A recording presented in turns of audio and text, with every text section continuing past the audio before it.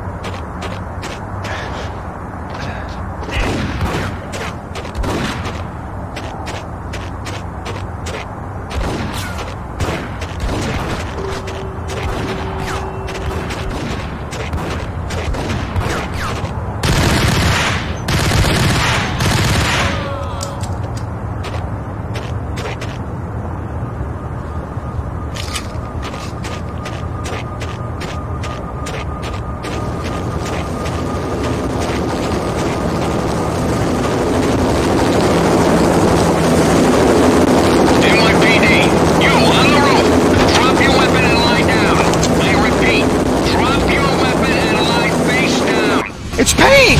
He's coming down the stairs! Shoot the bastard! Okay, boss, you got it. No problem. All right.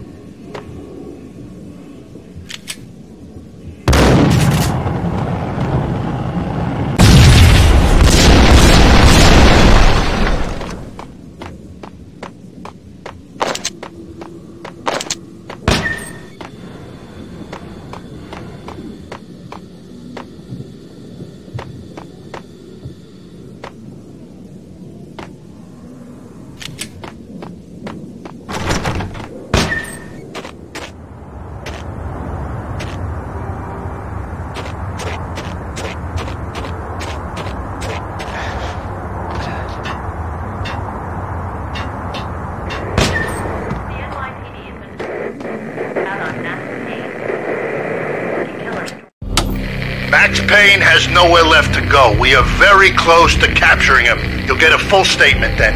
Right now, I've got better things to do, ma'am. That was Deputy Chief Jim Bravura from the NYPD with no further comment at this time. Apart from his suspicious food habits, I figured Bravura to be one of the good guys. Fate had just dropped us on different sides in this. But when it came to capturing me, he was way out of his league. I had already ditched the cops a couple of rooftops back. For now,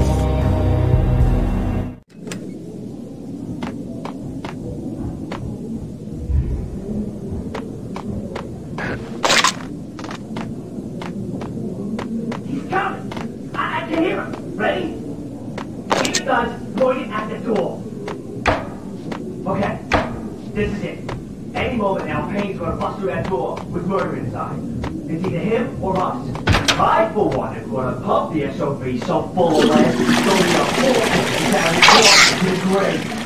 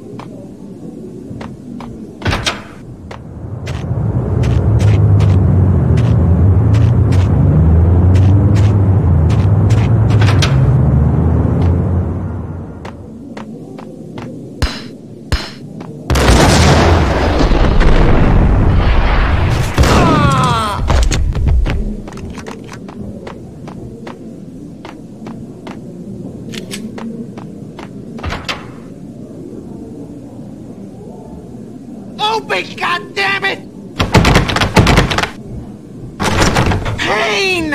I'll kill you, you lousy freaking cop! Ice